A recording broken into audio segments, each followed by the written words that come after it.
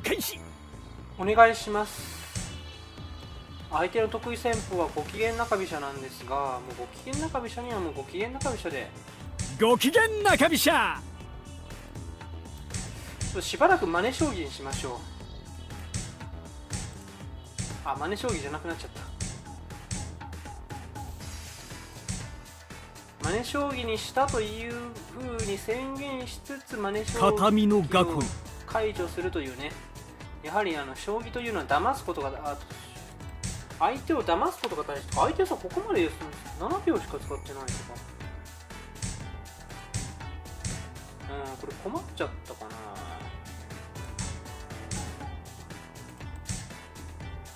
2分30秒。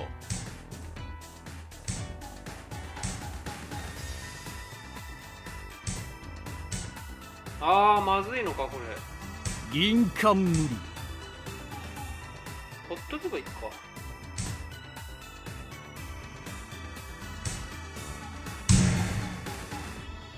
3五歩から攻めてこられるのかな？これ3五歩同歩同銀。まあでも大丈夫か。ちょっと怖いんで王様引いとこちょっと怖いんでね。わかんないですけど。あれ突破されてんの？あーまずいなこれ。同金は桂馬があるし同飛車も桂馬だし。2分。あーまずいこれ。逃げるしかないか。下ですか。いや早速まずいなこれ。なんかいつも負けちゃうんだよなこういうので。どうすりゃいいんだろうこれ。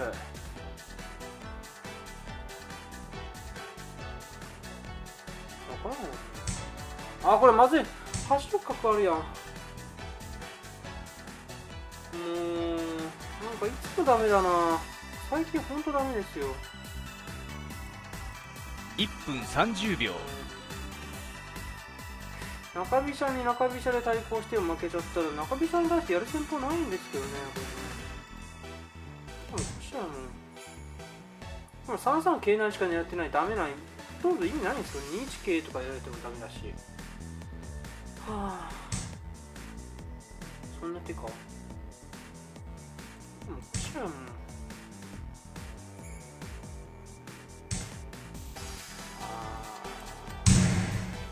時間も負けてるもう取るよ。これどうせさ桂馬と桂馬で金取られるんだったら最初からさ同飛車ってすりゃよかったのにねさっきね。あなんだ角はもう上げるしかないなこれ。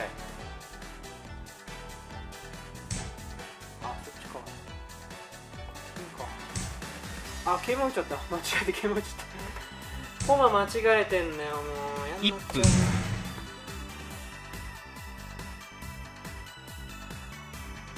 あでも桂馬でもよかったかな。金ここに打っても狙われるだけですからね。負けるよこんなの。ん金で。これ相手ちょっとちょっとだけちょっとちょっとちょちょちょちょちょちょちょなんかもう飛車取らないと逆転の余地ないですからね。ああ何つしちゃった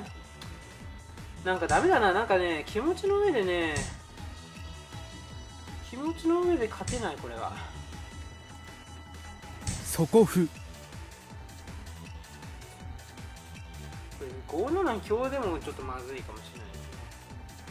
まあ、4二成桂となんかやっていくんですけど。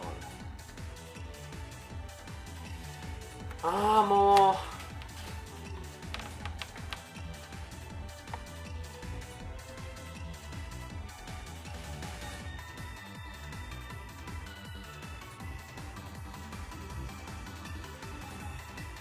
でも時間使ってきてますね。天通信不良うーん。なんか角にもこれさ普通にこれ切られても負けそうだなこれ。角切って同金で竜入ってきてなんかどっかで3七と角切られる手もあるし。3七角成でも負けそうですよね。3七角成同金4九銀とかされても負けそうだし。何やっても負けそうだなこれ。あ接続切れがちだって。そうあのね私の得意技はね接続切れがちなんですよ。相手の接続を切ってしまうっていうねそういうあの得意技持ってますんであの遠隔操作ですよ。遠隔操作によって相手のあの相手のパソコンの調子を悪くしてインターネットから接続を切ってしまうというねそういう裏技が持ってましてですね。それでまあ勝ち星を稼いでるわけなんですね。もうその得意技がないとね勝率がね2割くらいになってしまいますのでね。もうそういうことなんですけど。そういえばさネットの遠隔操作事件って昔あったんですよね。昔でもないですけど。なんかそんなに大騒ぎする事件なのかななんて思いましたけどね。あとそれからさその大学の入試学試験の途中になんかネットでそのあの入試問題の答えを聞いてそれで回答をもらって答えた人がさ逮捕されるとかなんかそんな事件もありましたよね。逮捕っていうのかな？なんかその京都大学だったかな？京都大学の入学試験中にその京都大学の入試問題の答えを求めるなんか質問がなんかヤフー知恵袋に投稿されてでそれに対する回答をもとに答えた人がいてカンニングっていうんでねなんか業務妨害の疑いで逮捕とかなんかそんな事件がありましたけど確かさ2011年の大地震が起きるちょっと前ですよ。で大地震のおかげでその人はねあのなんか霞に覆われたというか、えーほとんどねあの世の中から注目されなくなりましたけどそれ見て思ったのはなんでさネットが絡むとさ大したことない事件がなんか大事件であるかのように捉えられてしまうんだろう。ノエルノエル事件もそうじゃないですか。ねニコニコニコニコじゃないか。なんかあの中学生のさノエルっていうさなんか人がいてノエル君があの浅草寺に行きますってネット上で言っただけで逮捕されるとかさあんなの別にネットでさその嫌がらせされて逮捕されただけでじゃないですか。本当さ大したこともないような騒動がネットを使うことによってなんか大事件であるかのように捉えられるさ昨今のさ状況ってどうなのかなって思うんですね。あとそれからお店の品物に爪楊枝刺して逮捕された少年がいましたよね。なんかお店のお菓子に爪楊枝刺して超余裕っていう風に喋ってる動画をネット上にアップして逮捕されて。でその事件もさあの要するに万引きみたいなもんですよね。まあ万引きっていうか、まあ、お店のもの盗んでるわけじゃなくて傷つけてるだけだから器物損壊なんですかね。あるいは業務妨害なのかな。まあでも要するにさお店になんていうのお店の品物をあのに対して不正なことをやってお店に対して損害を負わせるっていうことでは同じじゃないですか。でそれだけの事件なんですよ。その私の中学生の時にもなんか同級生がさ万引きでね警察に捕まったことがあるんですよ、まあちなみに私はその場にいなかったんですけどあのね愛くんって子がいまして中学生の時にね。中学生の時の同級生の愛くんがその学校の近くのお店で万引きしたらしくてその愛くんの友達で一緒に遊んでた連中も一緒になって警察に呼ばれて事情聴取を受けたらしいですよ。で一応その愛くんだけが万引きをやってたってことが分かってそのそれ以外のやつらはあ君たちは関係なく関係ありませんでしたってことになったんだけどもとんだ迷惑ですよね。でもさそそのとんだ迷惑のその事件もニュースで報道されることはないわけですよ。多分厳重注意ってことでその場はねまあ何度もやってる常習犯じゃないしってことでその場は収まったんでしょうけどまあそのニュースになってないですよ。でもさ愛くんが万引きするところをあの動画に撮って YouTube に上げて俺は万引き万引きマンだぜ万引きマンの愛だぜキャッハッハーみたいなねそんな動画をアップしてそれがそういうことだったらニュースで大々的に報じられてもう極悪人に仕立て上げられること間違いなしだと思いますよ。そんな厳重注意なんかで済まないですよ。多分あの少年鑑別所だか知らないけどななんかなんか結構大変なことになりますよね、なんかさネットが絡むとあの大事件扱いされるっていうさそういう状況ってさおかしくないかって思うんですけどね。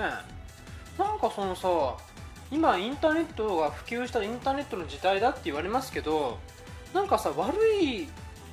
なんていうのかな悪い意味でインターネットが影響力持ってる気がするんですよ。でこの前もさ NHK のなんか貧困特集の番組に出演した高校生がいじめられるっていう事件が起きましたけどなんかいまだにさ YouTube とかにさなんかそのその高校生をなんかいじめるような動画がなんかたくさん出て出や、ま、出回ってるみたいなんですよ。完全にいじめ動画ですからねあのね。でそのいじめ動画ってさど何のためにその動画が公開されるのかって言ったらそのなんていうかな見る人があ自分もいじめっ子なんだけどあこの人もいじめてんだ。だから自分は正義なんだっていうふうにね。そういうなんていうのかな自分がな自分たちと仲間意識を高めるための動画でしょ要するに。自分の主張をするっていうのかな。あの世の中の人たちはこんな風に思ってるみたいだけどでも自分は違うんだって。俺の考えをみんなに聞いてほしいってね。みんな聞いてくれ。俺はこう思うんだけどみんなどう思うってね。あの自分のような考えの人はあんまりいないかもしれないけどでもこういう考え方もあるんだよ。なんで自分がこう思うかっていうとこれこれこういう理由でこう思うんだよみんな聞いてくれよっていう主張がしたいんじゃなくて要するに皆さんに情報をね提供しようっていうそういう目的なんかさらさらなくて要するにさあの調子に乗ってさみんなでこいついじめてみようぜわーいっていうそういう感じでしょ、うん、そういう目的で動画アップしてそれで視聴者数稼いでその広告収入をさ得ようっていうそれだけの目的じゃないですか。いじめついでにみんなでさいじめで楽しむついでにお金も稼いでやろうっていうさもうそういうさなんかもうほんとクズですよねそんなのね。最近本屋に行くと中国や韓国の悪口を言うような本がたくさん山積みになってるらしいんですよ、まあ、私はあんまり本屋ってあんまり行かなくて図書館の方が多いんであんまりその中国韓国の悪口本がたくさん出回ってるかっていうとちょっとなんあんまり実感はないんですけども、まあ、でもそういうねあの日本は素晴らしい国なんだ。中国韓国はとんでもない国だ。あんなやつとは縁を切れみたいなそんな感じの本があのたくさん書店になんか出回ってるらしいんですよ。でさそういう本ってさその本を読んで新たな情報を得ようとかさうんなんか自分にはない新たな考えを仕入れてこようとかあの最近の世界情勢について勉強しようとかねそういう気持ちでその本を読むわけじゃないんですよね。結局さそういう本を読むことによってあ自分と考えが近い人がいるって言って仲間意識を高めるっていうか友達意識を高めるっていうかそういう目的だと思うんですよね。もう何ていうのかな。あの、まあ、人によっては、まあ、いわゆるネトウヨと言われる人たちにとってはもう本なんか読まずにそういう本が出てるアマゾンに出てる書店にそういう本が並んでるってだけで満足してしまって実際にその本を読んだりしないとかさそういう話も聞きますからね。まあ、本屋さんに行けばいろんな本が置いてありますしそれぞれね著者によっていろんな主張があるわけじゃないですか。さあの自分は赤い赤が好きだって言ってる人もいればいや自分は青だ。いや俺は黒でゴンス。っていう人もいればねおいらは緑が一番好きでござるなっていう人もいるし、まあ、いろんなその考え方の人がいるわけじゃないですか。で例えば自分は緑が好き、まあ、私も緑って色が好きなんですけどじゃあ自分は緑が好きだと。じゃあ緑の本読みますか？それとも赤い本読みますか？青い本読みますか？黒い本読みますか？っていうとやっぱりさ緑の本読んだ方が心地がいいじゃないですか。だって自分の考えに近いことが書かれてんだから。ねあのー、自分の考えはねこんなに正しいんだってことが緑の本を読めば書いてあるわけでしょ？すごく読んでて心地よいじゃないですか。でもさ赤い本読んだら自分の考えは間違ってるってことがねもう次から次へと書かれてるわけですからそういう本読んでも気分はあんまり良くないですよね。でもさそういう本こそ本当は読まなきゃいけないはずなんですよね。だって自分が考えてることとは違う人がどう考えてるのかってことを知ることも大事じゃないですか、まあ、だから実際そういう本も読んだことありますしなんだっけな。本当は怖い日本国憲法とかそういう本も読んだことありますよ。だけど何ていうのかな。やっぱりその自分の中に持ってる教科書っていうのかな。自分今まで自分が生きてきた中であの完成されていた教科書っていうのがあるわけじゃないですか。でその教科書がいかに正しいのかってことを裏付けてくれるような本をやっぱり人々は求めてしまうってとこあるんですよね。だからそれが YouTube の動画とかにも反映されててやっぱりさ自分の考えに近い人の動画を見た方がさ楽しいっていうか心地よいっていうかそういうとこってあるじゃないですか。でもそういう動画を見たりとかそういう本を読むっていうのは本当はあんまり意味のないことなんですよね。それはただそのなんていうの？まあ、ドラえもんのくだらない漫画を読んで楽しむのと本当に同じことなんですよね。いかに堅苦しいさあの政治経済世界情勢の本を読んだとしてもそれは別に自分の考えの合ってる人の本しか読まないとしたらそれって自分の考えがその通りだよ。君の言ってることは正しいんだよってことを言ってくれる先生の本をそういうことを言ってくれる先生がいらっしゃるってことを確認する作業にし過ぎないですもんね。それって意味ないですよね。新しい情報なんかないですもんねそれね。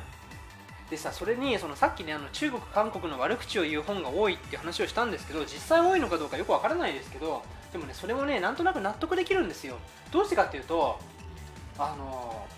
自分の考え自分の考えに合う人の本を人々は欲してるっていうのもそうなんですけど特に人の悪口を言う本っていうのはやっぱり売れやすいっていうのはやっぱあるんですよね。どうしてかっていうとあのいろいろと問題はあるけれども外国と仲良くしなきゃいけませんとかね。そういう考え方よりもあいつらは嫌なやつだからあんなやつはもう絶好なんだよみたいなそういうタカ派っていうのかな。そういう強気な本の方が仲間意識を高めやすいんですよ。つまりねこういうことです小学生とか中学生とかがなんか誰かをいじめることによって仲間意識を高めるってよくあるじゃないですか。ありますよね。いじめって大抵そうですよね。いじめってあの大体さ小中学生のさ子供のいじめっていうのはなんでいじめが起きるかっていうといじめを